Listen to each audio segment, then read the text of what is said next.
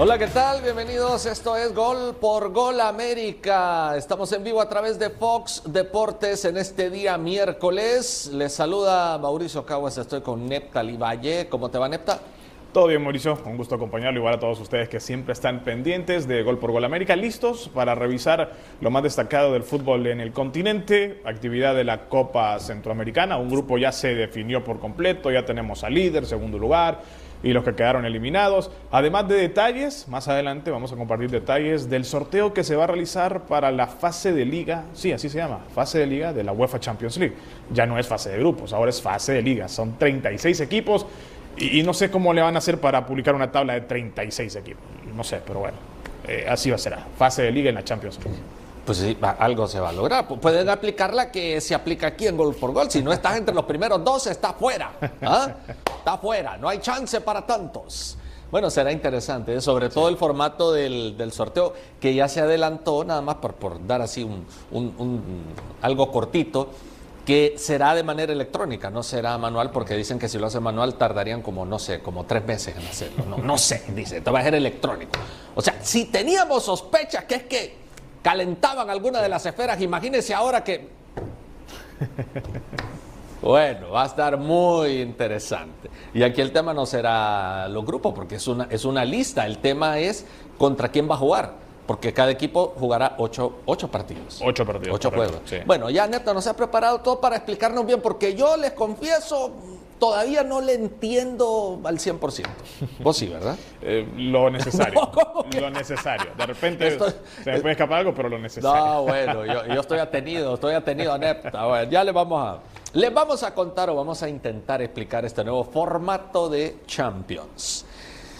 Comencemos hablando de Copa Centroamericana, ya nos adelantaba Neptalí, se definen algunos grupos, ya en este que vamos a ver estaba claro los clasificados, pero era importante para uno de los integrantes ver si podía alcanzar el pleno de puntos. Así que comencemos con Maratón frente Alianza, el equipo de San Pedro Sula, en un desolado estadio metropolitano. Ya eliminado Maratón, ya eliminado Alianza. Para Maratón era importante terminar ganando. Lo mismo para Alianza. ¿Ok? Lo mismo para el equipo salvadoreño. Los avances aquí, la reacción en el arco de Ortiz para Maratón. Otra vez Alianza. Sí. La falta es en el borde del área. Evita una opción manifiesta de gol y sobre el final del primer tiempo Maratón se quedaba con uno menos. Francisco Martínez expulsado. Y acá teníamos el tiro libre de esa acción, el disparo que se terminaba estrellando en la barrera y luego el contrarremate hacia afuera. Vámonos a la segunda etapa, disparo y Ortiz, que hoy salía como titular en ese partido. Algunos movimientos en los dos equipos, no solo en maratón. Luego teníamos el centro y Ángel Tejeda, por fin marcaba vestido de verde. Minuto 65, con este gol lo va a ganar maratón. Jugando con uno menos, Maratón dedicó más a defenderse que a ir al ataque normal, aunque intentó uno que otro contragolpe. Alianza no pudo modificar y se quedó bajo de maratón en la tabla. Alajuelense contra Comunicaciones en el Morera Soto. No se llenó por completo, pero sí tuvo buena asistencia al partido. La liga ya estaba clasificada, pero buscaba, buscaba el liderato con buena, con totalidad de puntos. Aquí una mano, falta penal, el brazo está en posición no natural y Comunicaciones se adelantaba en el marcador con el gol de Diego Casas. Con este triunfo momentáneo, Comunicaciones estaba saltando el primer lugar del grupo. Era un triunfo importantísimo en esa idea de avanzar como líder, pero claro, Alajuelense iba a presionar y lo va a empatar y lo hará con un gol en propia puerta. Alejandro Prieto termina marcando en propia portería. Sí, mala fortuna, pero es que esos centros son traicioneros, van cayendo y va cerrando sobre el arco y ahí está. Uno a uno. Y otro tiro de esquina, esta vez al 86. Santiago Van der Putten en, con el gol del triunfo para la liga. Ahí está, justo en el cierre del partido. Teníamos el 2 a 1, remontada entonces de la Liga Deportiva Alajuelense para terminar con paso perfecto esta etapa. La etapa de grupos, el campeón avanza de la mejor manera posible y está en la siguiente etapa de esta Copa Centroamericana. ¿Qué dijeron los protagonistas después del duelo? Bueno, escuchamos algunos de los jugadores, Van der Putten, que fue el que marcó el gol del triunfo, y también Diego Casas por parte de los cremas. Veamos. Sabíamos que era un partido de detalles y, en dos pelotas quietas nos, nos dieron vuelta el, resultado y bueno, creo que, bueno, hay que trabajar un poco más en ese sentido y, estar tranquilo también de que eh, era un partido complicado, difícil de visita y, bueno, eh, por parte le supimos manejar el partido y después se nos fue en, dos pelotas quietas que, bueno, tenemos que estar más atentos en ese Un partido muy parejo, Diego, pero en ese último tercio del partido fue que se les cayó el partido. Sí, eh, como te dije, es un partido de, detalles, creo que, bueno, que el equipo se entregó al 100. Es complicado aguantar siempre, obviamente que, bueno, también el equipo se abrió y pudimos hacer el 1 serie, después no lo pudimos aguantar. Eh, también justo nos hacen enseguida el gol y eso creo que, fue un balde de agua fría que, nos vino, porque estábamos bien, eh, ellos en realidad no tenían mucha, mucha situación, solamente el manejo de la pelota, pero, pero bueno, es un partido que, bueno, también tenemos que estarse, poner los pies sobre la tierra que, de que fue un, buen partido para nosotros. estoy demasiado feliz, parece un sueño, pero también no solo por el gol, sino otro partido más que concluye y completo y estoy muy feliz con eso y también porque logramos terminar de líderes generales de la Copa, que era nuestro objetivo y creo que es el primer objetivo que ponemos en el camino, que lo cumplimos y ahora seguir trabajando. ¿Fuiste designado como el jugador del partido? No, no, me parece mentira también, es como un sueño, yo creo que ya lo he dicho antes, pero cuando estaba lesionado y así soñaba con momentos como estos, ahora disfrutarlos mucho. Santiago, fuiste el jugador más joven en cancha por el equipo rojinero, ¿qué significa para vos eso? Muchísima responsabilidad, pero también nos da muchísima confianza, saber que confían en nosotros los jóvenes, saber que, que nada, que los del Carlos, que estamos desde abajo, venimos empujando y que se nos dan esas oportunidades y ahora se abren muchas puertas más para otros compañeros. Seguir ganando titularidad. Bueno, yo creo que eso queda a disposición del profe, yo intento trabajar fuerte, estar preparado para cuando me toque la oportunidad aprovecharlo.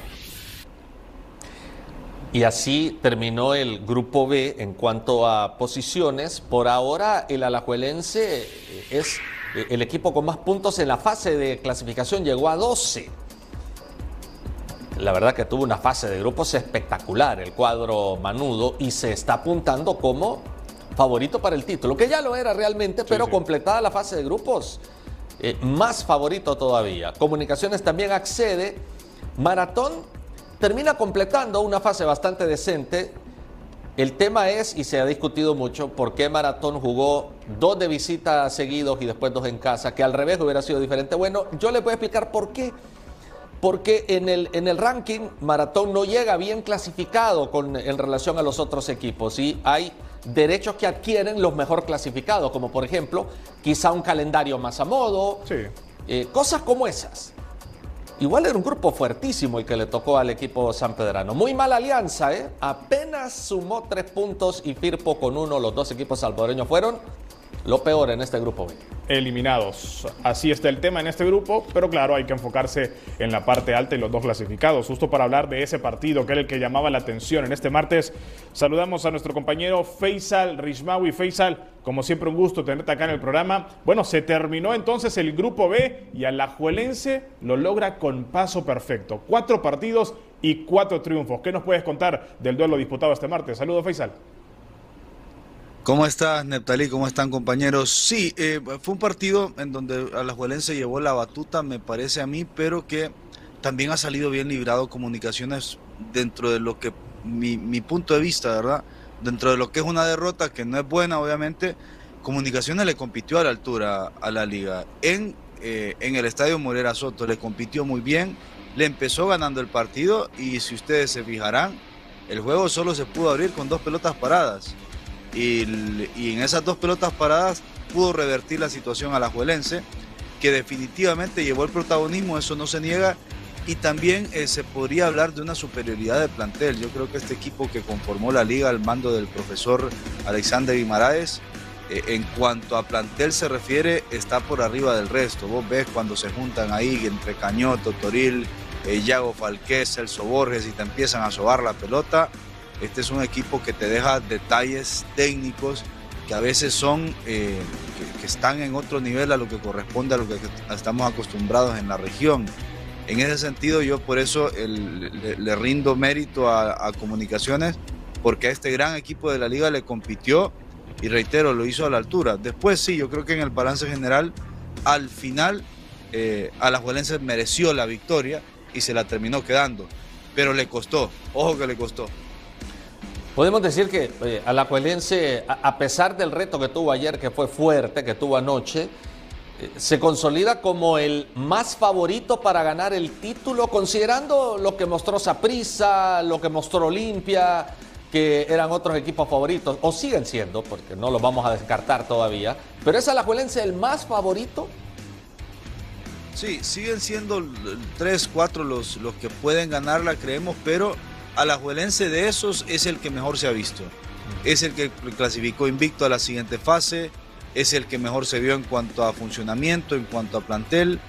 Eh, yo te, te, diría que tiene que mejorar defensivamente porque a veces como juega tanto en campo contrario, porque esa es la esencia de este equipo, a veces corre el riesgo de que lo agarren mal parado como lo agarró mal parado un par de veces eh, comunicaciones. El, la faceta defensiva todavía la pueden mejorar, a pesar de que Van der Putten se vio muy bien ayer, la saga central también se miró bien. Eh, pero no, no, o sea, de, de, que es el gran favorito y de que es en este momento el, el número uno contendiente a ganar el título, sí, por lo demostrado dentro de la cancha. Después habrá que ver si sí. se compone esa prisa, si se compone Olimpia. A comunicaciones yo no lo bajo de ahí. A comunicaciones yo creo que lo, lo puedo poner entre los que lo pueden luchar. Y te diría que un Real Estelí está para dar la batalla también. Pero sí, sí, eh, la liga en el primer lugar.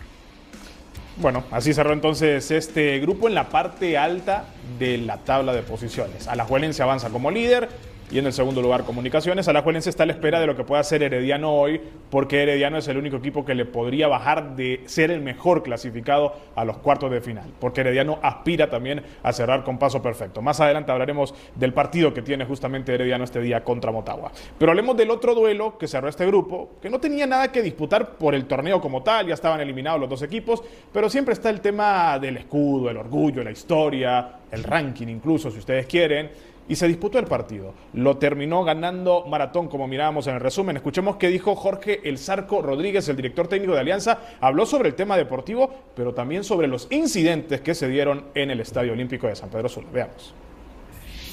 No, mira, nosotros eh, sabemos que no hemos cumplido. Nosotros pretendíamos eh, más eh, como Alianza, pero realmente hemos quedado en deuda con nuestra afición aún los pocos que vinieron este día y, y ahora pues eh, queda replantear de cara al, torneo, sabiendo que hemos fallado, que no hemos cumplido lo que eran las expectativas que nosotros eh, teníamos y, y esto eh, al final seguir adelante. Sí, mira, en lo futbolístico yo creo que nosotros tuvimos más control eh, de partido, pero eso en el fútbol no vale. Ellos fueron mejores en esa oportunidad que ganaron y lastimosamente después vienen los hechos de algunos aficionados, lastimosamente eso empaña el, el, el, partido, lo que había hecho Maratón que eh, nos ganó con 10 jugadores en mérito de eso. Y después vienen esas agresiones también de la policía hacia algunos aficionados de nosotros cuando era un grupo que estaba ahí y ellos eh, vinieron. Las cámaras están, todo el mundo lo vio eh, de esa agresión lastimosamente, que no tendríamos de estar hablando de eso, sino que de lo que fue el partido. Sí, mira, nosotros eh, estábamos eliminados ya. Eh, vamos a ver, ahorita que lleguemos al hotel, porque el jefe de, de seguridad de nosotros eh, fue agredido, está en ambulancia, lo más probable es que sea trasladado y ver varios jugadores que estaban, estaban dañados porque la policía les tiró los gases a ellos.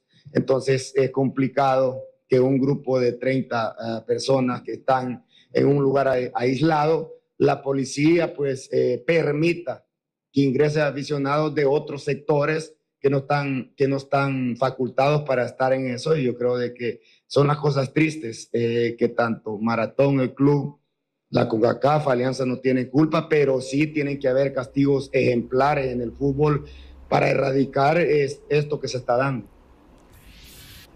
y se refiere a, al incidente en el que incluso jugadores de Alianza saltaron el cerco para ir, eh, según sus declaraciones, a defender a los aficionados del el club salvadoreño. Y si en algo estamos de acuerdo con el, el Zarco, es ese aspecto. La afición visitante fue aislada en un sector aparte el estadio estaba vacío y no tiene que ser tan complicado darles seguridad a los aficionados salvadoreños. Y es increíble, tiene toda la razón, como la autoridad que aísla al público visitante y que debe resguardarlos permita que aficionados del otro equipo se acerquen y termine armándose la trifulca que se armó anoche, que definitivamente le dejará sanciones al maratón como equipo local y habrá que ver si la CONCACAF sanciona a los jugadores salvadoreños que se saltaron el cerco. El Club Alianza, por cierto, posteó el siguiente comunicado, haciendo referencia a lo sucedido anoche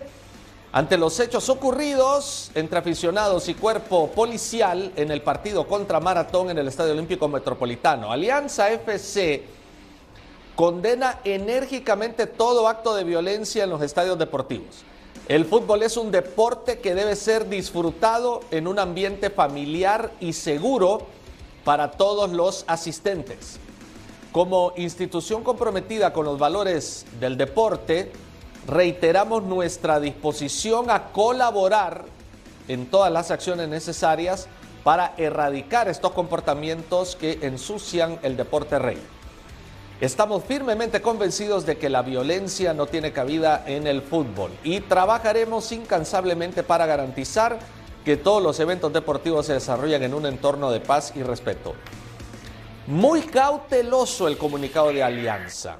No responsabiliza a nadie, no especifica y es lo correcto.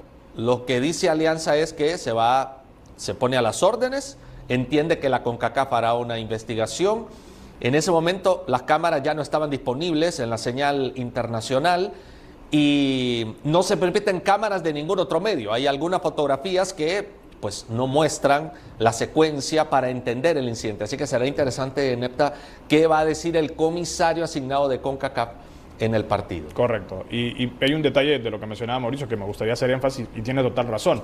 Se entiende más allá de que siempre hay responsabilidad de quienes están encargados de la seguridad, pero en ocasiones se entiende que manejar masas grandes, o sea, una gran cantidad de personas, es difícil de manejar. Entonces, en ocasiones se entiende, más allá de que siempre hay responsabilidad de los que están encargados de la seguridad.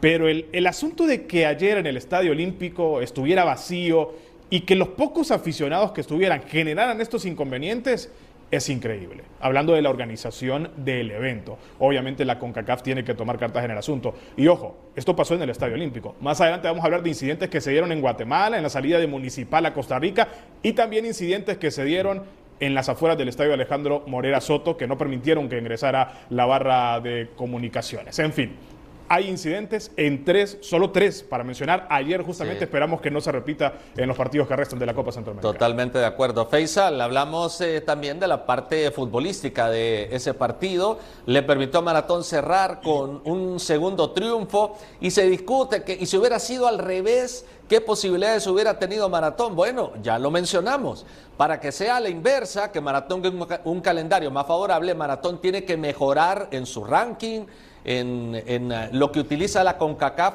para establecer los bombos y cómo se disputa el torneo. Estos dos triunfos le van a ayudar a largo plazo a Maratón, sin lugar a dudas.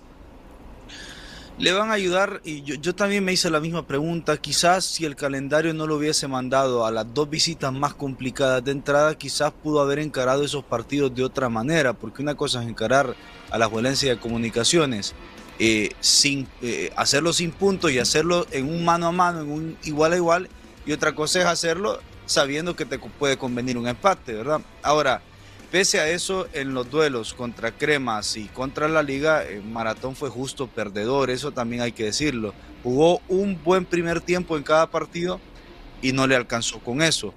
Ahora, eh, yo creo que en el balance general, Maratón perdió con quien tenía que perder y ganó a quien le tenía que ganar. Después hay cosas que son con el tiempo, los escenarios internacionales, los rankings, que ya lo dijimos, eh, ya lo dijeron ustedes, ir mejorando para que no te toquen estos calendarios. Y bueno, cerró una fase de grupo, reitero, porque la tabla dice eh, comunicaciones 7 puntos, maratón 6. O sea que tan mal no cerró al final, ¿verdad? Y yo también valoro el hecho de que sacó adelante un partido que se quedó con 10 hombres todo el segundo tiempo. Correcto. Al final, a ver, entiendo ese detalle del, calendario, en que quizás sí, sí, se jugaba así, etcétera, etcétera. también el calendario se puede analizar de otra manera, con un punto que hubiera sacado. Un punto en Guatemala. Claro un punto que hubiera sacado, donde ustedes quieran, de esas dos primeras visitas, entonces ya, ya estaríamos hablando de que el calendario le benefició porque consiguió el punto allá y va a tener los dos partidos para cerrar como local y con ello asegurar la clasificación. Entonces todo depende de lo que haces en el terreno de juego, aunque sí se entiende que esas dos visitas eran complicadas, pero ¿qué necesitaba? Un punto maratón. Y con eso ya estaríamos hablando de otra historia, Face. Sí, y yo, yo le aplaudí el primer tiempo que le hizo la liga, por ejemplo, pero los partidos duran 90 minutos. El segundo tiempo que le hicieron, que hicieron en el Morera Soto fue muy malo. O sea, eh, aprenderá y, habrá aprendido Maratón la lección de, esto, de este plantel de jugadores. Son muy pocos, no sé si ninguno, o muy pocos en todo caso los que tenían experiencia internacional a nivel de clubes. Hay varios que recién empezaron a dar sus primeros pasos en esta competencia. Entonces, eh, Maratón aprenderá y evidentemente si hubiera sacado los puntos, después el, escenario te cambia por completo. Por eso te digo, en una parte sí es el calendario, pero en otra parte también es el mérito deportivo y eso fue lo que no pudo conseguir. Bueno, habrá trabajo hacia adelante. En el lado de Alianza, decepción, me imagino. Este es un equipo muy robusto, es un equipo fuerte en El Salvador y no surgió como el que, como el que dio la cara. El que está dando la cara en estos momentos es otro, un archirrival, el Águila, pero Alianza muy lejos, ¿ah? Se quedó lejos el Alianza y yo te diría que con el plantel que tiene, porque está bien armadito este equipo, este es un buen equipo, eh, para mí sí quedó a deber. O sea, la Copa termina siendo una decepción porque solo supera a Firpo, porque se quedó solamente con tres puntos porque ayer era un partido para que cerrara dignamente y lo que estamos diciendo de Maratón lo estaríamos diciendo de Alianza, que hubiera cerrado la, fase de grupos con seis puntos y que ganó con quien tenía que ganar y perdió con quien tenía que perder, pero la cierra con tres, eliminado en la última fecha y no, pudieron, no pudiendo sacar adelante un juego en donde tenía 11 contra 10 en, en 45 minutos. Así que Sí, lo de Alianza también es, eh, es decepcionante y yo creo que en general corresponde a que no lo está haciendo también en el campeonato salvadoreño, va quinto y también corresponde, diría yo, un poquito al actual y al nivel actual general del fútbol salvadoreño. Pues, que viene a la baja. Solo hay uno que ha sacado la cara. Así es, así es. Bueno, seguiremos hablando sobre esta Copa Centroamericana Faisal, pero ahora iremos a una pausa y después de la pausa tendremos la previa de los partidos que se van a disputar esta noche. Así que no nos cambie, tenemos mucho más. Aquí en Gol por Gol América.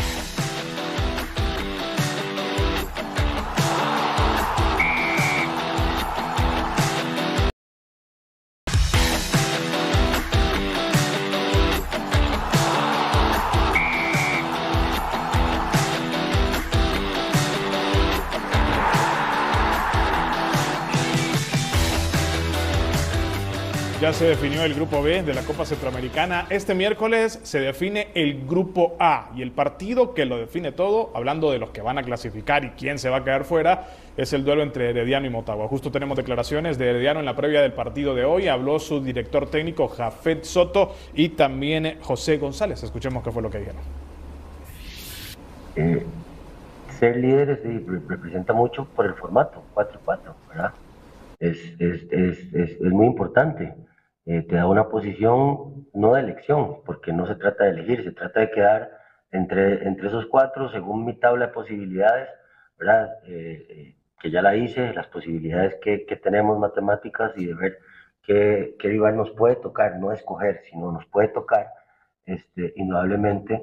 ser primero es, es, muy importante para nosotros, respetando que Liga tiene un gol más que nosotros y respetando también el partido que tiene Liga y respetando también el partido que tenemos nosotros contra, contra Motagua, que no va a ser para ninguno de los dos, que son los que estamos, digamos, eventualmente, porque podría pasar, en el fútbol puede pasar lo que sea, más martes, miércoles y jueves, que eso es algo muy bueno que tiene el torneo, que la verdad que el torneo está espectacularmente eh, hecho eh, y programado eh, y le pone una emoción bastante, bastante grande y te obliga a buscar los tres puntos el día de mañana. Y en el tema de la afición, pues sí, entendemos eh, que no estamos en nuestra provincia, que estamos en San José, pero este es el estadio de todos, así que eh, es determinante que mañana eh, tengamos el apoyo de ellos acá en, en, el Estadio Nacional, como lo han hecho y, como siempre han estado, como, como lo hemos hecho en este estadio, o como lo hemos hecho en Alajuela, en Saprissa o en Cartaginés, que también con mucho, con, la verdad que con mucha voluntad y compromiso nos han prestado sus estadios eh, para jugar la Copa Centro, Centroamérica. Y bueno, eh, yo creo que cada fútbol tiene lo suyo. Obviamente es un fútbol distinto. A mí me parece que el fútbol de Costa Rica a mí me beneficia mucho en mi juego, eh, sobre todo y para seguir mejorando en que ustedes son expertos en Costa Rica en el bloque bajo. Tienen un bloque bajo impresionante, lo vi reflejado en el partido de la Copa América contra Brasil. El bloque bajo lo tienen eh, en las venas, entonces es muy difícil romper un bloque bajo para un centro delantero. Y, y, para mí ese es un reto día a día. Entonces es un fútbol mucho más físico en ese sentido con los centrales que, que yo tengo que estar solucionando todo el tiempo para, para, hacer los goles. Entonces, para mí llevar esta, esto que he aprendido aquí en Costa Rica, el fútbol mexicano va a ser buenísimo. Y también comparto esta, esta respuesta de, de Gafet, obviamente eh, queremos volver a vivir eso del 2018. Yo eh, me encantaría poder ser campeón con el Herediano aquí en la Centroamericana y, vivirlo también con, los aficionados, porque me parece que, eh, no digo diferencia de México, pero aquí cada quien siente a sus equipos como suyo en la afición. Entonces, poderlo vivir con ellos y ser uno más de ellos en la afición, para mí también es, es esencial para poder ser campeón. Y es que así se vive el fútbol en Costa Rica y es algo muy curioso porque son provincias muy cercanas. Tenés eh, Alajuela muy cerquita de San José, de la parte de Tibás, eh, Heredia, eh, Cartago, donde están los más grandes, pero cada uno de estos equipos tienen una, una masa de aficionados importante. El Herediano la tiene.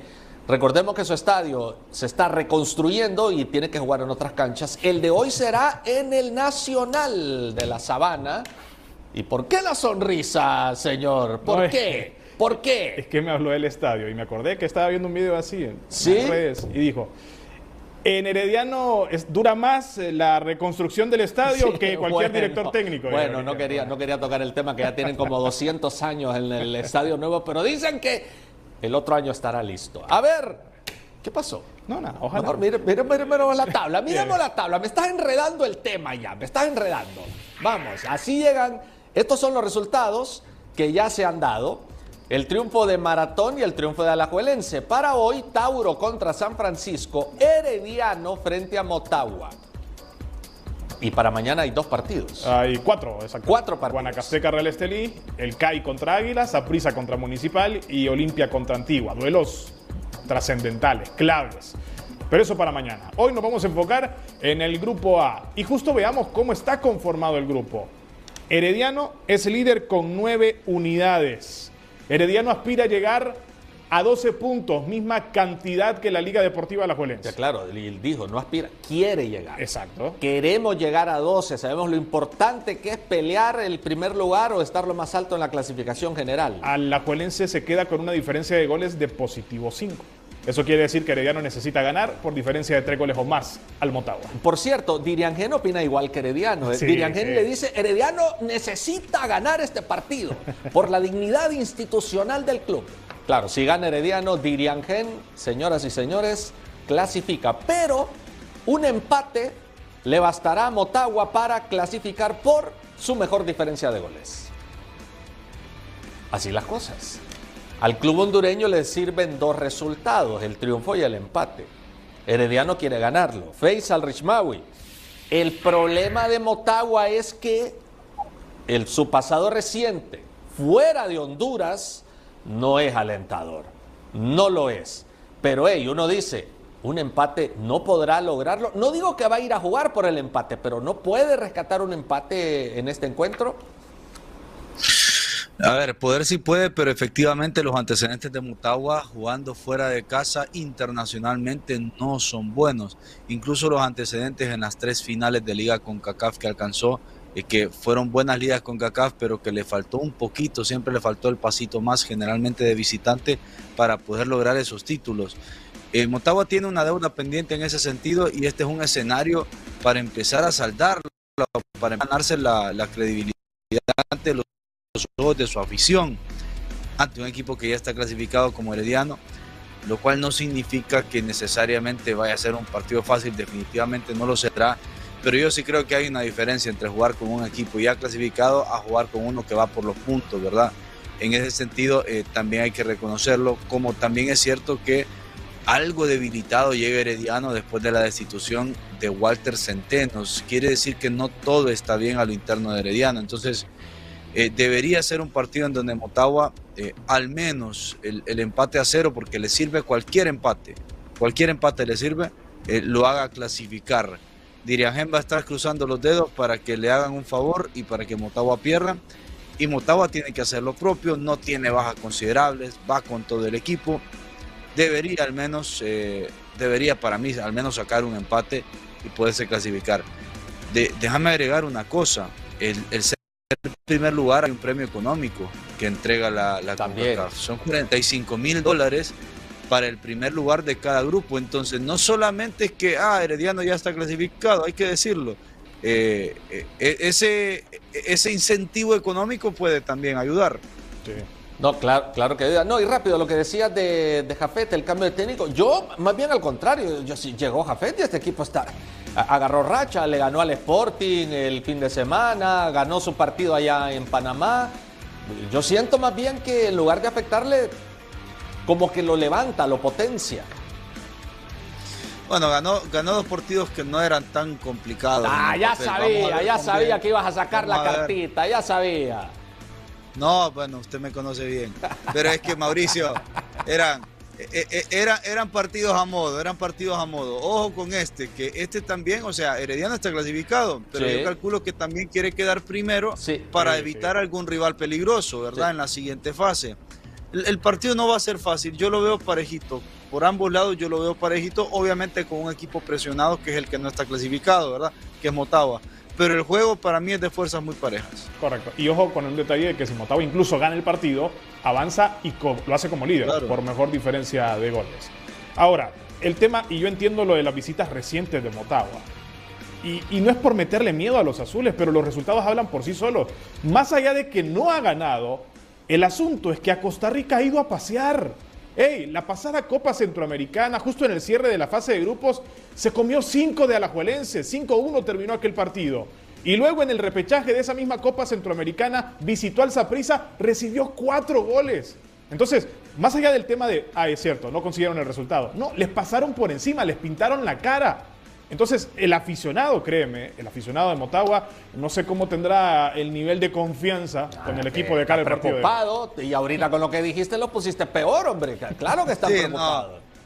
Eh, ahorita eh, Nepta los mandó a tomarse un tranquilizante a los aficionados de Motagua, vasitos de agua, porque los puso nerviosísimos. Hay que decir una cosa, de ese 5-1 contra la Juerense hay varios sobrevivientes en este plantel motahuense. Está Osmendi, está, está Luis Vega, está Marcelo Santos. Hay varios acá que seguramente deben tener hambre de revancha en suelo tico por lo menos y desquitárselas con el primer tico que se les ponga enfrente. Vamos a ver si hoy lo logran. Pero es difícil, eh, eh, es complicado y tienen por qué eh, estar dubitativos los hinchas de Motagua. Tienen con qué. Pues ahí tiene ese reto el equipo hondureño para ver si logra clasificar a la siguiente ronda. Faisal, siempre es un gusto, gracias. Ah, no, espérame. No, aquí, no, ya me dice producción que, que, que, me espere, que quede desesperado ah. que ando. Pero tenés que esperarnos porque tenemos la convocatoria de Guatemala.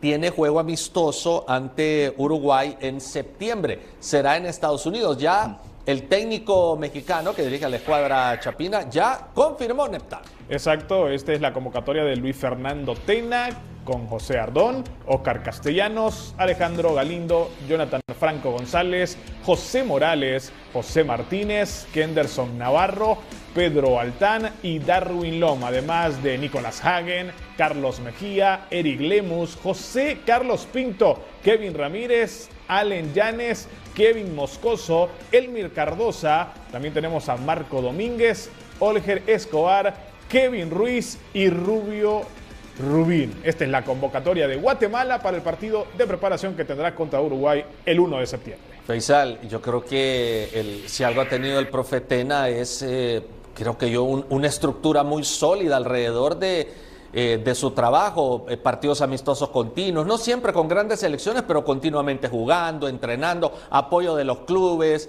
Ahora les tocará Uruguay, que como no es fecha FIFA todavía, pero siempre es un, partido interesante.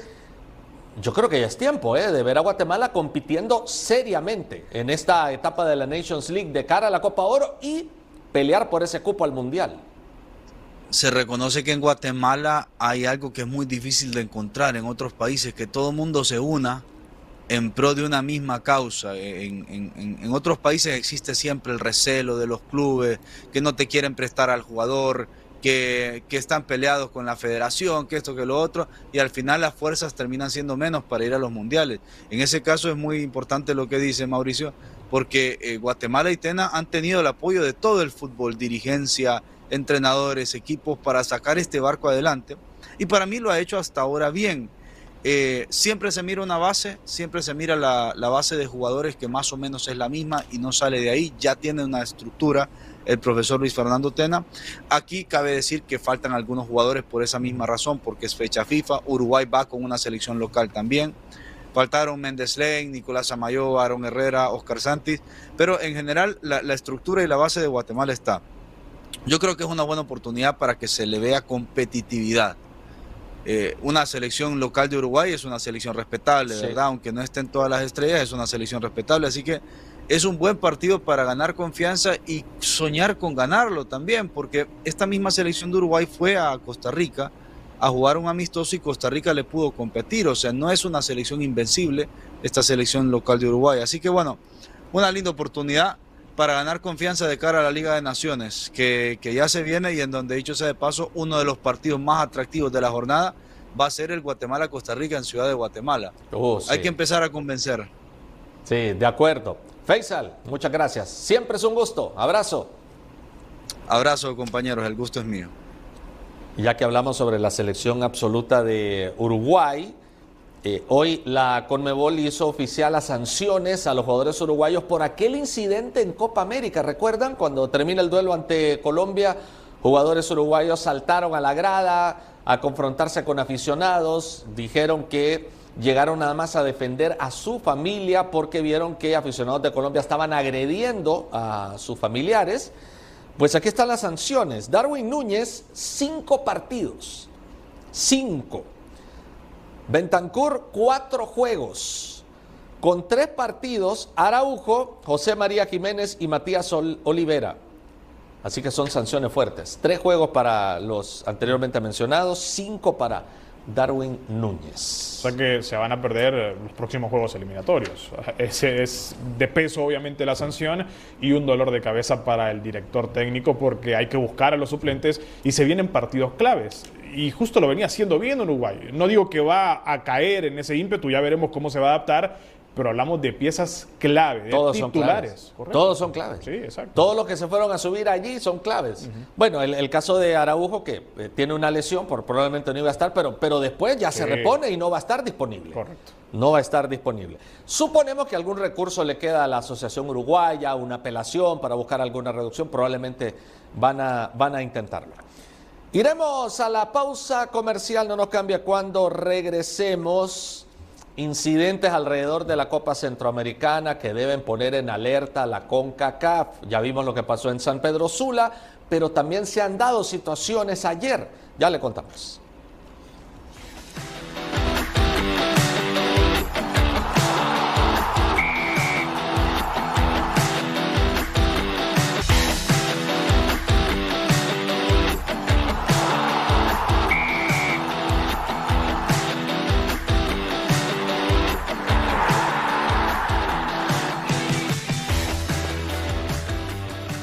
Gracias por continuar con nosotros. Vamos a ver, ¿qué pasó con Municipal ayer?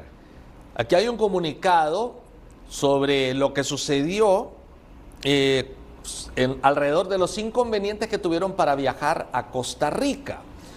Y Nepta, son situaciones que a, a, lo mejor sean distintas, pero que están envueltas y están alrededor de un torneo que, al que se le exige. Vamos a ver. La mañana de este martes, o sea ayer, Municipal tenía previsto viajar a Costa Rica para cumplir con su cuarto partido de Copa Centroamericana. Durante la espera del abordaje, aficionados de comunicaciones plenamente identificados insultaron y agraviaron a integrantes de la delegación roja. O sea, aficionados de comunicaciones se encontraron en el aeropuerto de la capital guatemalteca al equipo municipal y empezaron a decirles de todo. No había ningún elemento de seguridad que, controlar, que controlara el ataque. Ante los hechos, el personal de la aerolínea, Avianca, se mostró displicente y no ofreció ninguna solución viable que garantizara al equipo viajar seguro y llegar a tiempo para continuar con su planificación. Asimismo, la aerolínea no cumplió con los protocolos de seguridad que prohíben el abordaje de personas con efectos eh, de alcohol para proteger a sus pasajeros. Comunicado fuerte en contra de la aerolínea eh, emitido por Municipal. ¿Y por qué menciono con CACAP? Porque también puede investigar. Son aficionados de un club rival que se vieron involucrados y ya sabemos que la CONCACAF ha actuado, aunque sucedió en una zona que no le compete a la CONCACAF, estamos de acuerdo. Pero, pero forma parte del entorno, porque... De la conducta, la conducta es parte del entorno. Y, y, el tema es que esos aficionados de comunicaciones, algunos estaban viajando a Costa Rica para ver el partido de comunicaciones. Exactamente. ¿Y qué pasó luego allá en Costa Rica? Porque también hay otro comunicado, pero ya es un incidente aparte pero también tiene que ver con esta situación. Veamos ahora el comunicado de comunicaciones, que esto ya tiene que ver no con el incidente municipal, es totalmente aparte, esto tiene que ver con lo que pasó previo al juego contra la Liga Deportiva de la Juelense que terminaron perdiendo. El club informa que expresa enérgicamente su molestia y desacuerdo con la medida que se adoptó en el estadio Alejandro Morera Soto en Alajuela en contra de los aficionados cremas, a quienes se les prohibió de manera unilateral y arbitraria el ingreso al estadio. Los aficionados viajaron con el afán de apoyar al club en el encuentro correspondiente a la Copa Centroamericana de CONCACAF. Los informes preliminares que dispone el club no indican que haya una justificación para la toma de dicha decisión. Este es otro buen punto y la CONCACAF debe enfocarlo con los clubes. Correcto. O sea, si un equipo, por ejemplo en este caso a la Juelense, está planificando, o la seguridad en Costa Rica está planificando que no ingrese la afición visitante, deben dejarlo claro. Tal cual. No dejarlo claro el día anterior al partido, o la mañana del partido, ni dos días antes del partido. Deben dejarlo claro desde que se anuncia el calendario de partidos. Esto no se puede, no es, un, no es una cuestión tirada de los pelos, que, porque hay gente que viajó. Sí, exacto. Y llega allí y no lo dejan entrar. Esto es hasta es una ilegalidad hacia estos aficionados de comunicaciones. Eh, bueno, algunos dirán, está bueno que les pase porque quisieron zarandear a los de municipal en el aeropuerto. Bueno, no sé. El asunto es que se tiene que avisar con tiempo. Y aquí tiene que entrar la CONCACAF y avisarle a los clubes, esto es inadmisible. ¿Ok? Por supuesto que es una decisión de cada país el aspecto de seguridad, pero no se puede notificar el día anterior se tienen que notificar con anticipación. Tal cual. Eso es. Eso es todo. Y más hablando de torneos internacionales que justo incluyen ese tema de viajes y demás, todo tiene que ser anunciado con el tiempo suficiente. Pero bien, veremos qué pasa. Son tres incidentes, repito, que se dieron en las últimas horas hablando de la Copa Centroamericana. Esperamos que no se den más en los partidos que restan del torneo. Y siempre con, eh, nos vamos a quedar con Costa Rica porque ayer se anunciaron sanciones luego de los incidentes del pasado fin de semana. Mire, eh, habitualmente no nos tomamos tiempo en cuanto a sanciones porque suelen ser sanciones normales, pero en este caso son sanciones pero bastante fuertes. Por ejemplo, a Mariano Torres, figura, futbolista experimentado, le han asignado cinco partidos de suspensión. Epa. ¿Por qué? Bueno, primero por lanzar el balón violentamente contra un oficial adversario, o sea, le aventó un pelotazo, pues, así como, como niño caprichoso. Por eso un partido. Ahí un partido. Otro más por no acatar la expulsión de manera inmediata, o sea, le sacaron la roja y estuvo discutiendo, no me voy, si me voy. Ahí hay uno más. Y le pusieron tres por insultar al árbitro. Mientras que a Marcelo Pereira, que lo vemos ahí frente a Mariano Torres, le dieron tres partidos por golpear a un adversario sin que el balón estuviera en disputa. Estaban enojados en la comisión, ¿eh? enojados estaban, se fueron fuerte, fuerte. Y, y, hablamos solo de sanciones deportivas, porque también hay multas. Eh, y en fin, eh, obviamente la sanción es fuerte para Mariano Torres porque es repetitivo, ya le ha sucedido en algunas circunstancias. Y veremos cómo se adapta esa prisa, porque hablamos de un jugador clave en, la elaboración de fútbol para el equipo morado. Veremos qué sucede en los próximos partidos de la liga. Bueno, lo van a poder utilizar en los juegos internacionales siempre y cuando sea césped natural. Porque el futbolista por aspectos físicos eh, experimenta dificultades en superficies artificiales. Esto ante la crítica de incluso muchos aficionados eh, morados que, que dicen que, que juegue, dice, pero no es así nomás.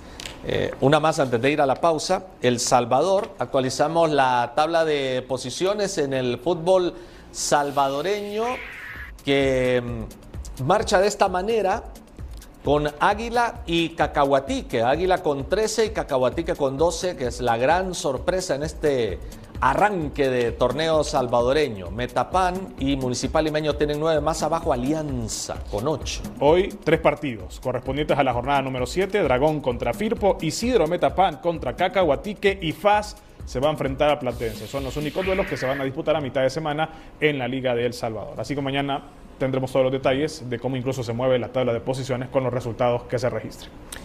Iremos a la pausa comercial, no nos cambie. Después de la pausa tenemos más aquí en Gol por Gol América. Volvemos.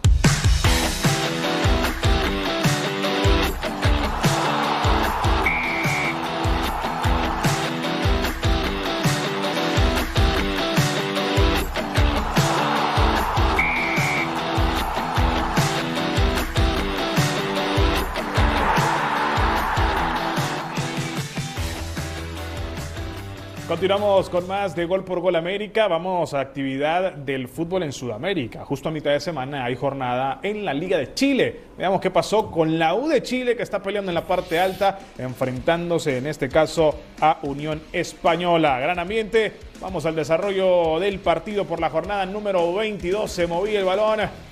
Saque de manos, ofensiva, no hay fuera de lugar. Los agarraron dormidos a los defensas, balón hacia atrás, la recepción, el disparo y el 1-0 del partido. Israel Poblete en 23 minutos lo ganaba la U de Chile. Muy bien la jugada, la pensaron de manera muy rápida y después control orientado y definición con la zurda lejos del arquero. Vamos ahora a la segunda etapa, el ataque de la U de Chile por la izquierda, aguantando la marca, el servicio. Desde ahí le va a pegar, le va a pegar, le pegó y golazo. 2 a 0, Leandro Miguel Fernández en 74. Así la U de Chile llegó a 46 unidades después de 22 partidos disputados. En el segundo lugar está Colo Colo con 39 puntos, pero hay un detalle. Colo Colo tiene dos partidos pendientes en comparación a la U de Chile. Así que la lucha por el primer lugar de la Liga Chilena está al rojo vivo, aunque claro, Colo Colo no solo está en ese frente. Recordemos que también está preocupado por lo que pueda pasar en Copa Libertadores, ya preparándose para ese cruce contra River Plate. Incluso ahí ya Arturo Vidal dijo que quiere llegar al 100% para enfrentar a River Plate. Claro, es un duelo que no se lo quiere perder y si lo va a jugar, lo quiere jugar eh, con todas las condiciones. Por cierto, eh, se debatía ayer todavía, Nepta, el tema de si se va a permitir o no afición visitante para esos partidos. Faltan, faltan días para el encuentro. Pero bueno, volviendo a lo que hablábamos como crítica del lado de la CONCACAF y de los clubes de, en la Copa Centroamericana, en Sudamérica se está evaluando con tiempo esa decisión. Si finalmente se va a permitir afición visitante y el enfoque se hace partido a partido. En este caso hablamos de River contra Colo Colo, que es una serie bravísima, ¿eh? bravísima. Eh, pasamos ahora a esta eh, noticia triste realmente. La semana anterior en eh, un partido de Copa Libertadores Nacional contra Sao Paulo, se desvaneció ah, en la parte final del juego Juan Izquierdo, se desvaneció. Y fue trasladado a un hospital. Desde el inicio se supo que su condición de salud era crítica. Los médicos confirmaron que se trataba de un tema cardíaco, un tema en el corazón, una arritmia.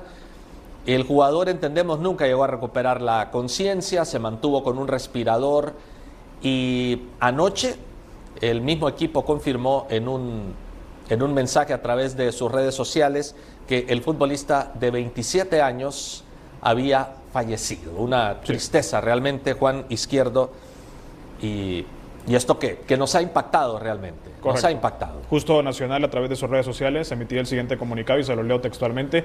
Con el más profundo dolor e impacto en nuestros corazones, el Club Nacional de Fútbol comunica el fallecimiento de nuestro querido jugador Juan Izquierdo. Expresamos nuestras más sinceras condolencias a su familia, amigos, colegas y allegados. Todo Nacional está de luto por su pérdida irreparable. Que descanse en paz, Juan.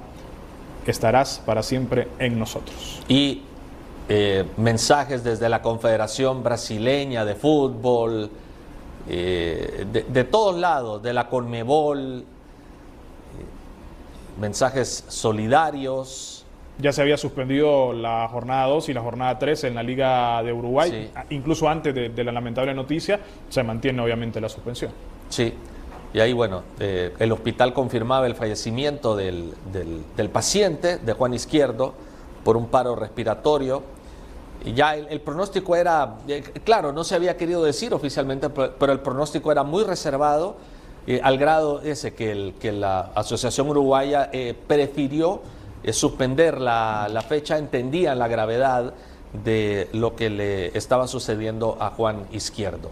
Es otro fallecimiento más por un problema cardíaco que realmente preocupa porque son atletas bien preparados, se está dando de manera cada vez más repetitiva y, y claro, los, eh, la, la parte médica en su momento, me imagino, con más investigación podrán ir sacando conclusiones, pero esto es algo que mirabas muy remotamente hace años y hoy lo estás viendo eh, de manera más, eh, más seguida. No digo que pasa todos los días, pero está pasando mucho. ¿eh?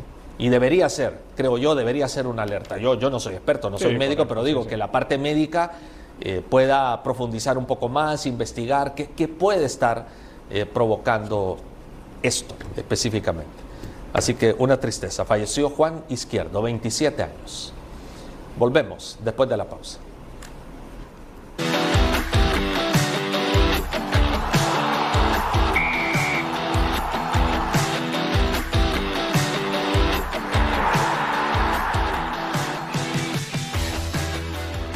Gracias por eh, continuar con nosotros. Nos vamos a vestir de gala ahorita. Usted Epa. imagina, hágase la de gala, porque hubo un acto homenaje espectacular que organizó la Federación Mexicana de Fútbol. Es una placa de reconocimiento para varias de sus grandes figuras en la historia del, del, del fútbol mexicano. ¿Puedo ¿sí? decir el nombre de quienes fueron reconocidos? Por supuesto, claro. Por- y claro, y vamos a ver fotografías y demás, pero solo les cuento. Por ejemplo, nada más y nada menos. Jared Borghetti, entre quienes estaban obviamente recibiendo el reconocimiento. Ignacio el Cuate Calderón. También Enrique Mesa, director técnico. Cuauhtémoc Blanco también recibió su placa de reconocimiento. Alicia Lapelé Vargas. Y me falta uno todavía. ¿Quién te falta?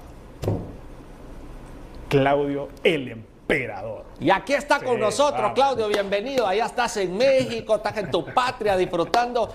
¡Ey, qué bonito evento y qué bonito y espectacular reconocimiento! Buenos días, abrazo. Así es, Mauricio, Nectalí, la verdad un placer nuevamente estar con ustedes. Muy emocionado, todavía sigo, ¿no? De este evento.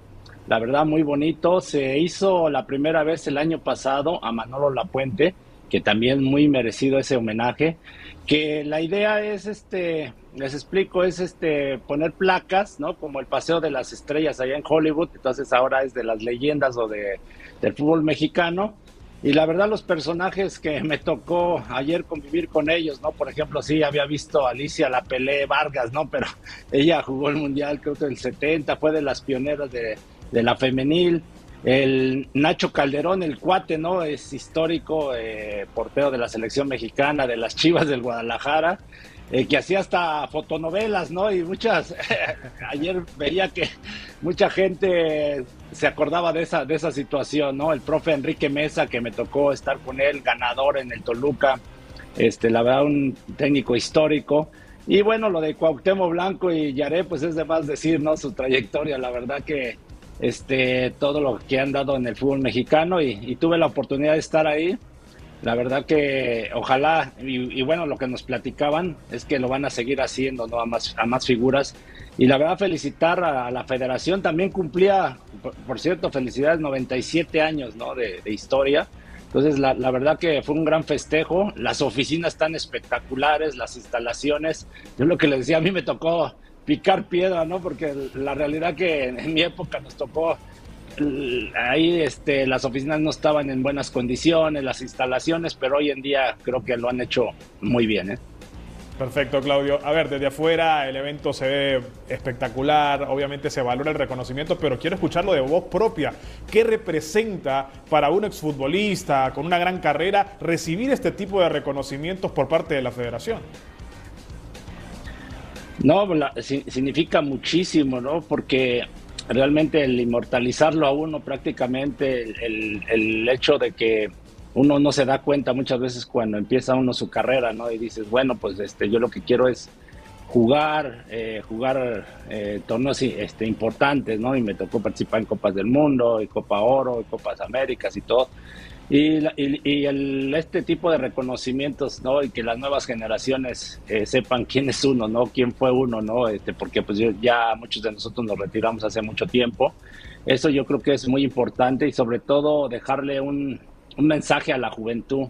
Yo creo que eso nos estaba haciendo falta en México, el, hacer este tipo de reconocimientos, porque creo que eso inspira también a los jóvenes, ¿no? A decir, sabes que yo quiero trabajar y eso es lo que, de hecho, cuando en el discurso que nos tocó dar, eh, se trató un poquito más de, ese tema, ¿no? De, inspirar a los, a los jóvenes, porque mucha gente piensa que es fácil llegar ahí, pero hay que sacrificar muchas cosas, mucha disciplina, en buen, eh, comportamientos, ¿no? También hay que ser, eh, hay que comportarse muy bien, sobre todo con los jóvenes, y que en realidad se puede dar, se puede, este, porque, bueno, en mi caso, por ejemplo, yo vengo de una familia humilde y es lo que decía, ¿no? Este, eh, no, no fue impedimento para poder llegar a, a, cumplir mis sueños y por eso yo creo que es muy importante este tipo de reconocimientos. Y sobre todo lo que mencionaste, mucha disciplina, mucha consistencia, eh, y mucho esfuerzo. Así que de nuevo felicidades Claudio, nos alegra muchísimo y,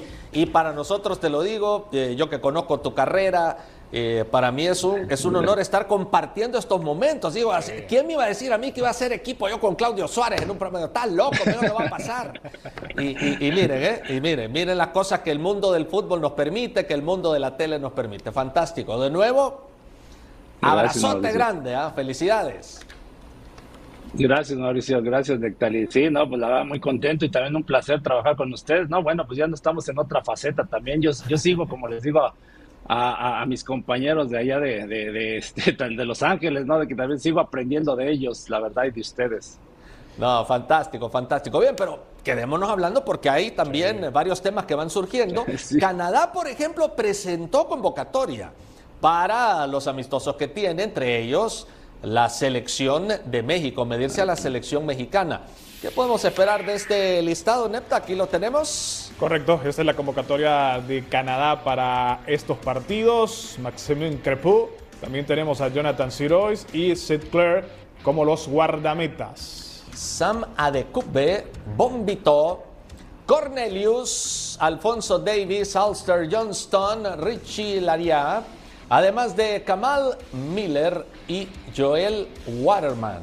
Los mediocampistas, Ahmed Chornier, también tenemos a Stephen Eustaquio, Jonathan Osorio y Nico Sigur. Los atacantes Stephen Arfifa, Theo Bair, Jonathan David, Kyle Larin, Liam Millar, Tani Oluwasegi y Jacob Chappelburg, que fue tremenda sensación en la Copa América. Bueno, varios. Aquí está la selección de la Copa América, esta selección de Canadá. Es buen fogueo, muy buen fogueo para la selección mexicana, me parece. No sé cómo lo percibes, Claudio. No, sí, la verdad que Canadá para mí fue la mejor selección en la Copa América, lo demostró Jesse Marsh, que lo conozco, fue, fue mi compañero en, Chivas USA, ha tenido una muy buena trayectoria en Europa y ahora le, impulso, le, puso un estilo, la verdad, que ya tiene, tiene muy buenos jugadores, ¿no? Simplemente el ser atrevidos, ¿no? Porque lo vimos contra Argentina, eh, cómo le jugó al tú por tú. Y realmente es una selección muy competitiva y que no va a ser fácil para México. Lógico, México apenas va a empezar su proceso ahora con Javier Aguirre, con Rafa Márquez, este, bueno, que lo tiene de auxiliar, e incluso tuve la oportunidad de platicar el día de ayer ahí con ellos, ahí estuvo todo el cuerpo técnico. Tienen la verdad mucho, también mucho, mucho entusiasmo, muchas ganas pero no va a ser, no va a ser fácil Canadá, ¿no? Por todos estos jugadores que ya mencionaron, ¿no? Que, que muchos de ellos, eh, algunos juegan en Europa, Alfonso Davis sobre todo es el que destaca, ¿no? Siempre es el, máximo representante ahorita canadiense. Sheffield, que por ejemplo, este, incluso hasta sonaba que el América estaba interesado en él, ¿no? Porque es un gran delantero. Eh, como les repito, no va a ser fácil. México siempre tiene el apoyo en, Estados Unidos por la gente, no tanta gente, y este partido se va a desarrollar en Dallas y no dudo que va a estar, va a ser un lleno y que la gente va a estar, mayoría va a ser de México, ¿no? Perfecto, Claudio. ¿Y cómo se le notaba a Javier Aguirre ayer en esa reunión que tuvieron la oportunidad de compartir? ¿Se le notaba seguro, confiado, con la ilusión de este nuevo proyecto? Sí, la verdad que Javier Aguirre es su tercera etapa y, y, lo vi muy contento. La verdad, es tipo que que te hace bromas y este y cuando se pone serio se pone serio eh. a mí me tocó un pasaje muy eh, complicado me acuerdo en el 2002 no que no me llevó el 2000 al, al mundial no de Japón y Corea pero bueno, este, la verdad, eh, él mismo lo decía, hasta bromeaba, dice, yo nada más voy a estar dos años, aquí este, le voy a dejar la estafeta aquí a Rafa Márquez, ¿no? Por, este, para que se haga cargo hasta el 2030. Digo, pues ojalá, ojalá y sí se cumpla y que todo lo que están planeando la Federación Mexicana pues se cumpla, ¿no? Y yo creo que sí, eh, la verdad que eh, muchos a lo mejor dicen que va a ser lo mismo lo de Javier Aguirre, pero no, indudablemente uno sigue aprendiendo y, y, él sabe manejar grupos, sabe manejar prensa, o sea, realmente es un especialista y yo creo que eso también es muy importante. Y sobre todo aquí hablábamos, ¿no? También eh, con ellos y con la gente de la federación, Ibar Cisniega, con, con Miquel Arriola, ¿no? También Juan Carlos Rodríguez, de que de que también la materia prima es importante, los jugadores, ¿no? Que lleguen en buen momento y que están buscando la forma de, darle más oportunidad a jóvenes, a gente, pues, mexicanos para desarrollar y tenga la selección mexicana este material, ¿verdad? Sí, totalmente de acuerdo. Pasando ahora a la Liga MX, porque ayer, bueno, ya se cerró, se van cerrando los fichajes, todavía había espacio para incorporar, por ejemplo, Uriel Antuna dejó Cruz Azul y se va para Tigres. Quiñones pasa al Puebla. A ver, ¿cómo crees que va a impactar esto?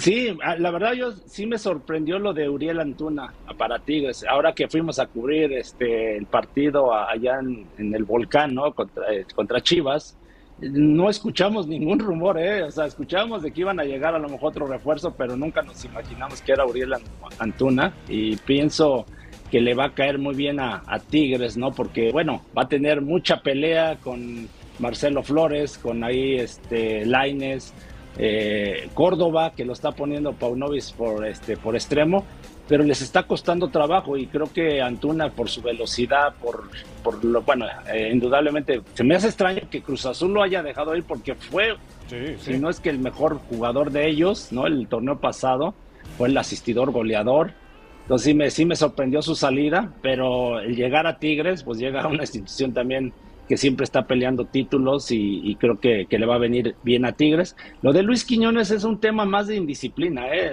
La gente o toda la, bueno, no sé qué pasaba con Luis Quiñones eh, allá en Tigres, que todos ya lo querían que se fuera, no sé, pero porque tiene, es, tiene un gran talento, es a mí la verdad que es un gran jugador y bueno, ah, llega al Puebla, la verdad en Puebla, no sé, eh, va a sufrir, porque la, con todo respeto, Puebla, a pesar que le ganó al América sorpresivamente, pero creo que, que, va a sufrir ¿no? en cuanto al, desempeño. No dudo que sea titular, pero con, en el equipo, esperemos que el Chepo de la Torre, pues este, el equipo lo, lo, lo vaya mejorando cada vez más, ¿no?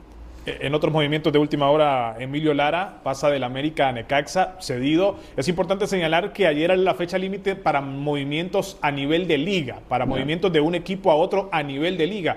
Todavía hay espacio para que los equipos fichen, pero jugadores que vengan del extranjero, de otras ligas, incluso mexicanos, pero repito, de otras ligas fuera de la Liga MX. Pero sin duda el movimiento más fuerte fue el de Uriel Antuna.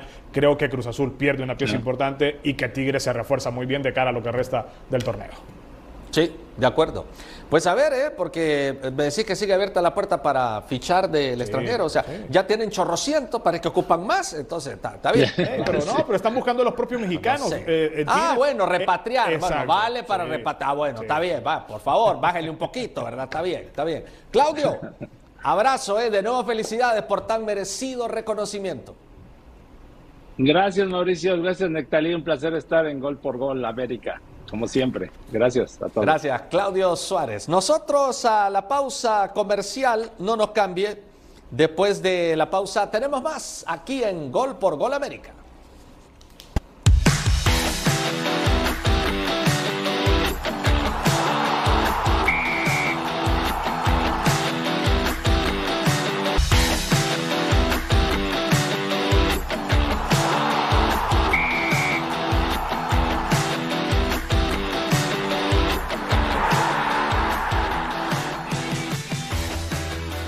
Continuamos con más de Gol por Gol América. A ver, ya terminó la League's Cup, eh, tuvimos a Columbus Club campeón, ya se reanudó la Liga MX, la MLS. Y hay un torneo que se ha venido desarrollando no con tantas luces como hace un año. Me refiero a la US Open Cup, el torneo de Copa de Estados Unidos. Y tiene un motivo. El motivo es que para esta edición de 2024 no participaron todos los equipos de la MLS. Tomaron la decisión porque sentían que les apretaba demasiado el calendario y que están valorando circunstancias para mejorar el calendario de cara al futuro. Entonces, por ejemplo, el Inter Miami no participó. Por eso nunca escuchamos la noticia de que el Inter Miami fue eliminado de la US Open Cup. No estuvo Ah, en o el sea que No estuvo en el era, si jugaba lo eliminaban. No, no sé. Solo, solo digo Porque que no- pudiste haber dicho, no hemos escuchado No. la noticia de que el Inter va superando las etapas. Porque- no, dice, no. lo eliminaron. Porque ¿Ah? ya estamos en semifinales y ya tenemos a los semifinalistas. Bueno, ya incluso tenemos un finalista. Ah, Veamos, veamos qué sucedió en una de esas semifinales Ya la arregló, ya la arregló. de la US Open Cup. El Sporting Kansas City se, se presentaba contra el Indy 11 y acá las acciones del partido. Sí, digamos que es el torneo longevo, ¿verdad? El torneo de la historia. Poco público para este encuentro. El gol es de Johnny Russell en 14 minutos. Dice el Sporting, si los otros no quieren, yo sí.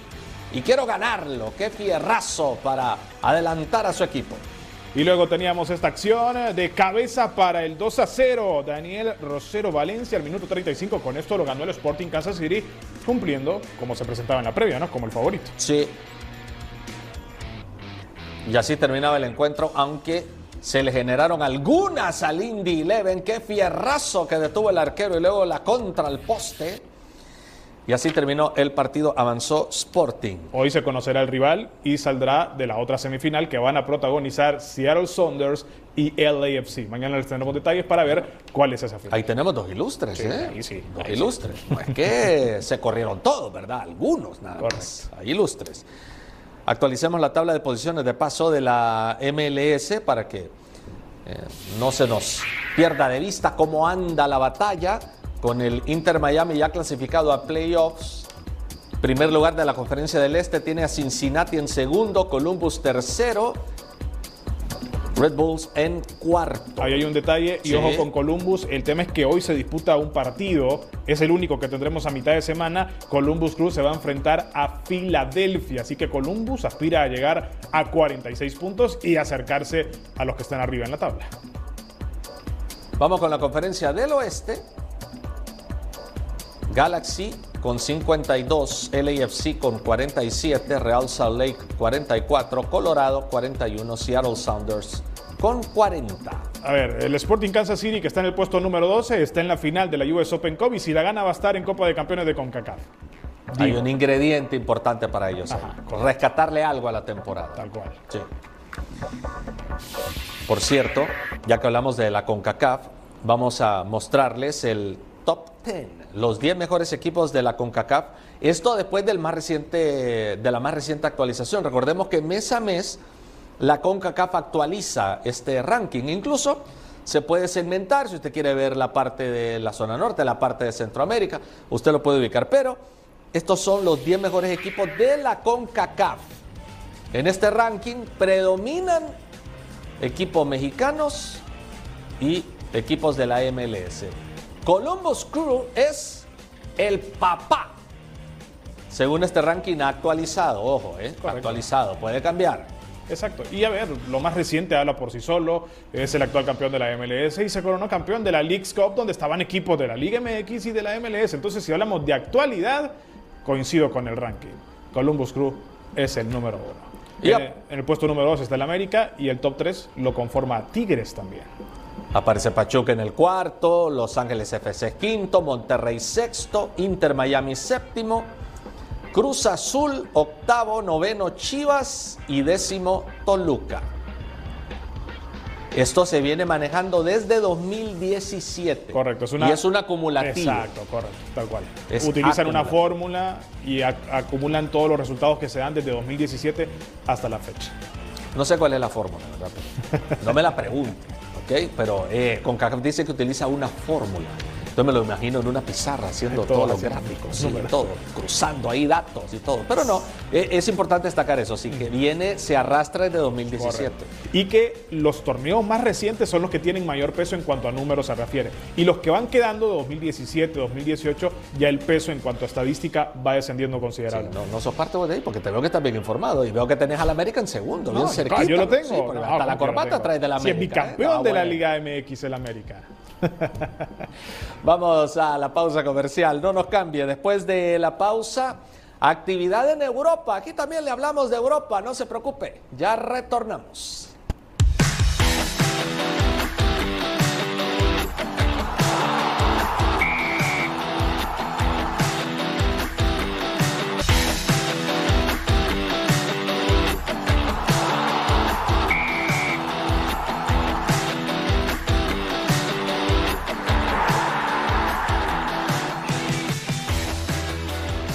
Gracias por continuar con nosotros. Hablemos de traspasos, fichajes que se están dando en el fútbol europeo. Por ejemplo, en Manchester United llega el uruguayo Manuel Ugarte. ¿Se venía escuchando sobre este eh, traspaso?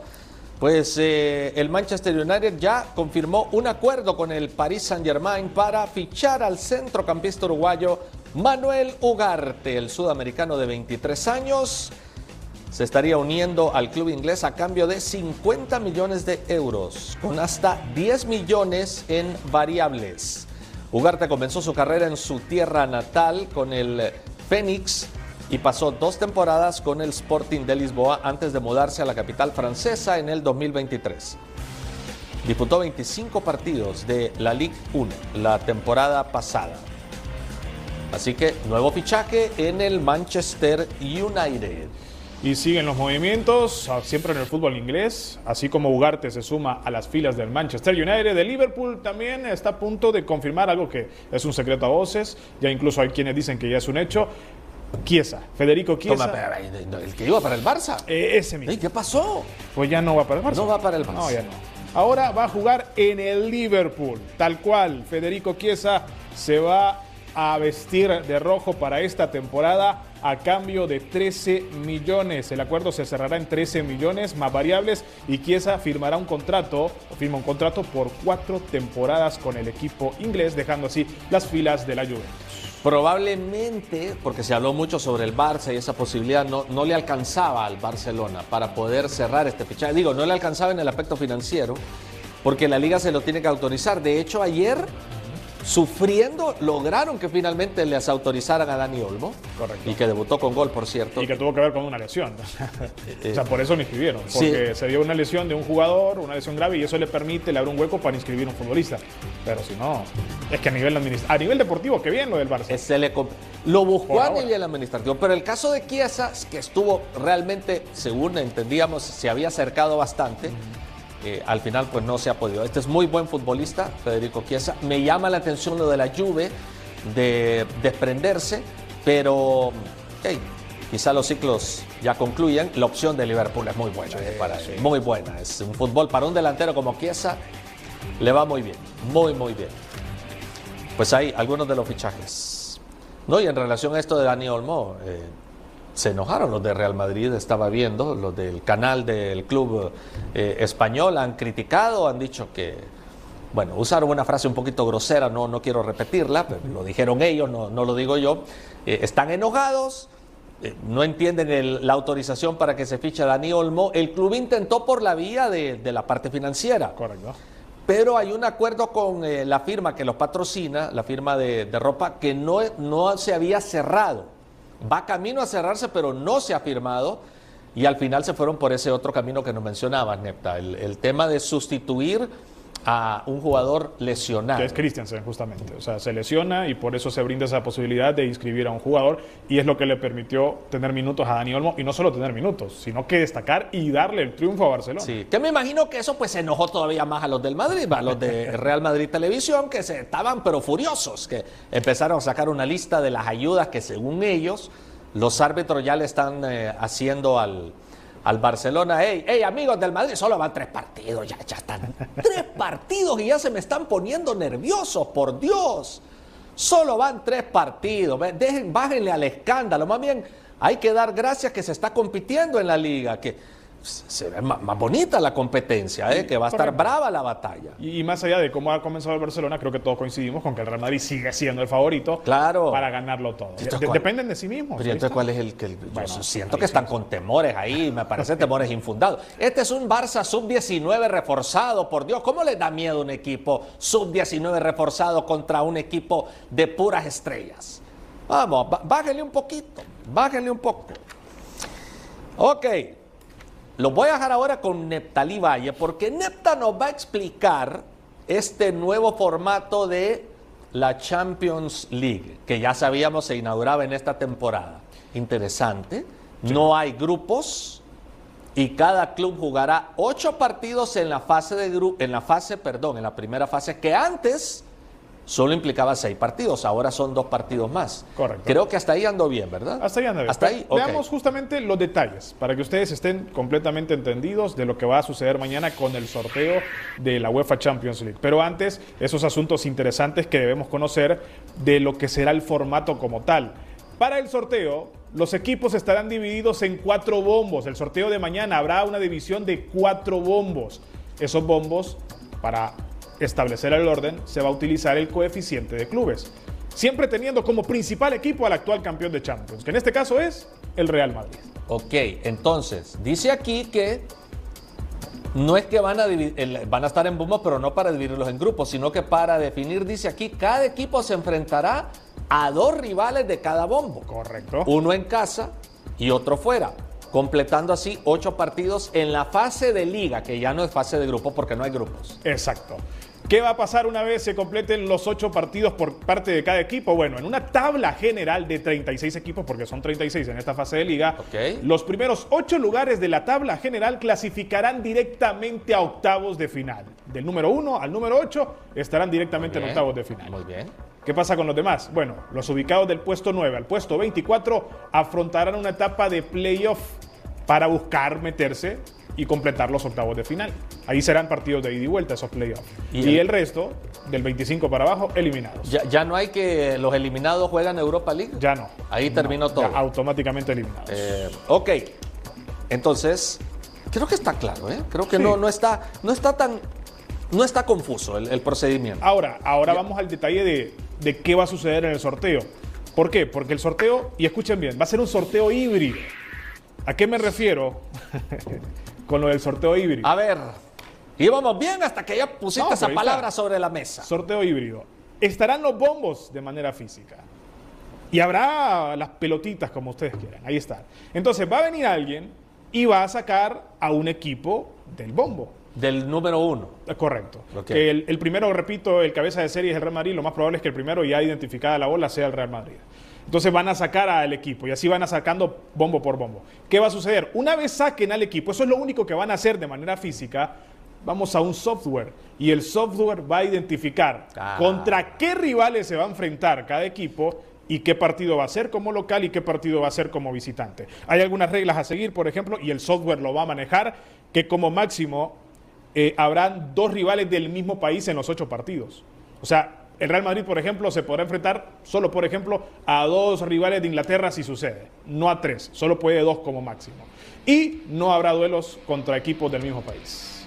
En esa fase. En esa fase, correcto. Ok. Eh, bueno, seguramente, seguramente vendrán las críticas, una vez se emparejen o se defina contra quién va este, ah, este le tocó facilito porque le ayudaron, computadora, así como le dirigen esto, le dirigen lo otro todo tipo de especulaciones. La UEFA había explicado que en este formato, si se van a un sorteo físico, se vuelve muy largo. E, esa fue la explicación que dieron.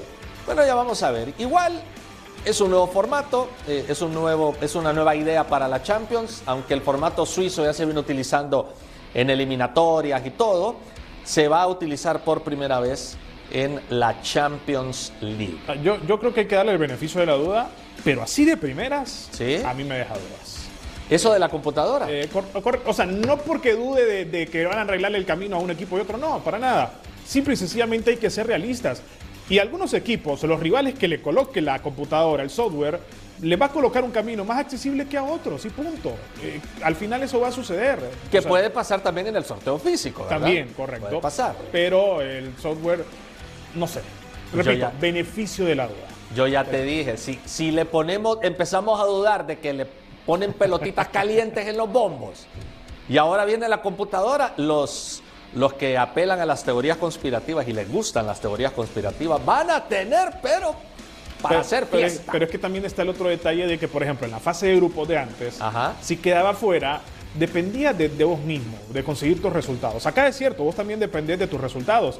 Pero puede que un equipo te supere en la tabla, un equipo con el que ni siquiera te enfrentaste. Entonces, ese tipo de cosas a mí no me terminan de convencer. Vamos a ver. Pero bien, repito, beneficio de la duda. Después, una vez terminada la temporada, vamos a valorar si nos gustó o no nos gustó, principalmente esta fase de liga.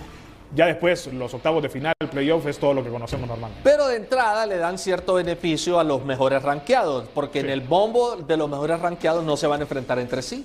Va- van a uno Ah, va- uno sí. uno o sea Oh. recuerda- o sea cada equipo se va a enfrentar a dos rivales de cada bombo incluyendo del bombo Ah, uno. no, Sí. esa parte yo, yo entendí que era a partir de los otros bombos. Ah, no, no, Incluyendo, no, no, no, correcto. no, no. Vamos a ver, vamos a verla, vamos a verla.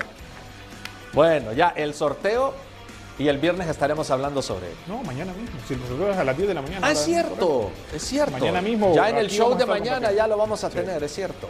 Se me olvida que es en Europa, ya va a ser más temprano. Bueno, así, la Champions, la nueva Champions. Hacemos pausa, no nos cambie, los actualizamos con la Liga de Arabia Saudita, un histórico Cristiano Ronaldo haciendo más historia, una liga que se vive a través de Fox Deportes, ya volvemos.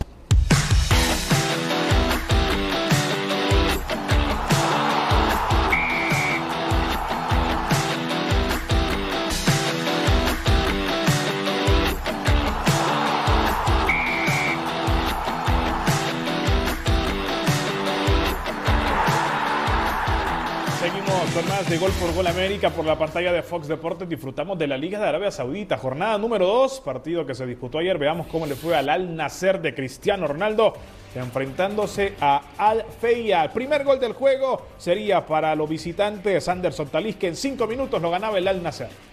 Cerrando muy bien, ahí está el servicio. La habilitación de CR7 y con la zurda abajo. Venciendo al arquero, ya lo ganaba el Al Nasser. Tiro libre para CR7 y su gol número 899. Había tiempo para que intentara el 900 y lo buscó. No lo iba a conseguir igual. Es un cristiano de récord que ya dijo, me encanta Di Stefano, lo respeto junto a Pelé, pero de todos mis goles hay video. Ya lo dijo. ¿Y, y qué, y qué le discutimos a CR7? Y que quiere llegar a los mil también, dijo. Acá llegaba el 3 a 0 del partido, sería de Marcelo Brozovic al minuto 85. Amagó con centro y terminó sacando disparo al arco. Ahí está el disparo. Ya el arquero reacciona tarde. Va a descontar el equipo de casa, el Al Feyá. En esta acción, el gol es de Fashion Sakala en 86 minutos. Así descontaba en el partido, quedaba tiempo pero muy poco. Y no iban a encontrar otro gol, no iban a recortar la distancia. Al contrario, el Al Nacer va a conseguir otro tanto. Vaya golazo de Anderson Talisca, el 90 más 5, doblete para él. Y el triunfo del Al Nacer, ¡ey! Ganó en la jornada 2. Suma un triunfo y un empate en el inicio de la Liga de Arabia Saudita. Golazo. El de Anderson Talisca. Y así terminaba el encuentro. También eh, siempre alrededor de la Liga Árabe se confirmó un fichaje para el Al Hilal. Allá en eh, ese fútbol llega Joao Cancelo. Es nuevo fichaje del Al Hilal. Este es un equipo, digamos, es al que le tiene que pelear el Al Nasser. Sí, y correcto. está muy bien reforzado. Eventualmente va a volver Neymar. No va a tardar, no tarda Neymar en volver. Está cada vez más cerca. Este es buen equipo, ¿eh? Sin duda, y esta es una incorporación muy importante. Es uno, fue uno de los jugadores más destacados del Barcelona en la temporada anterior, que jugó, recordemos, en el Barcelona, seguido por el City.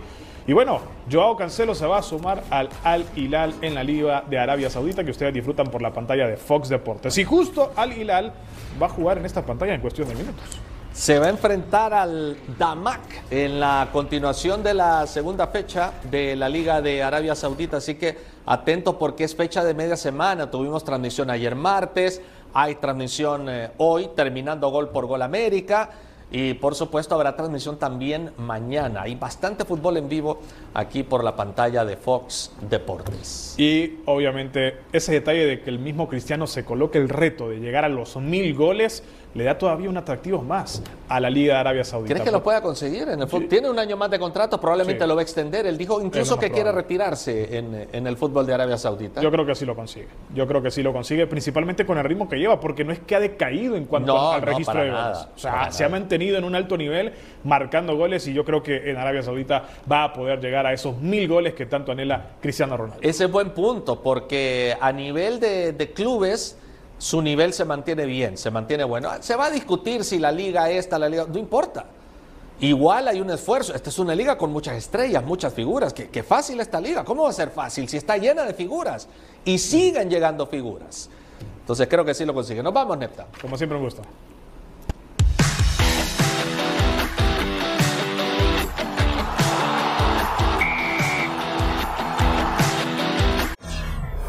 Ver más, suscríbete al canal de Fox Deportes en YouTube.